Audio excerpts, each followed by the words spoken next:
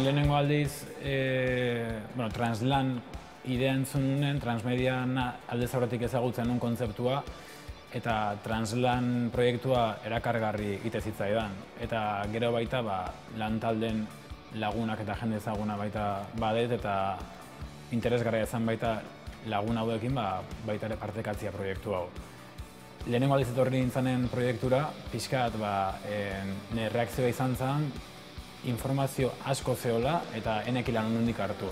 Eta ba, sozial arean sartu nintzanen, ba, antzerako, antzeko zerbait pasazan, ze gure gidariak ba, transmedia proiektu batekin zuen irudia, nei haundi gaz ez zitzaidan. Enekin nondik hartu ze beak ide asko zituen buruan, proposamen asko zituen eta nik atzen nintzen ba, asidori baten modun dan bezala, xe ikasle ba naizelako, asidori ba naizelako, baina hori haundi egatu zitzaidan. Da guain proiekt, proiektu aurra doan bezala eta prozesu aurra doan bezala, ba, gauzak viable edo posibleago ikuste ditut, eta guain momentu honetan bintzat asko zela saio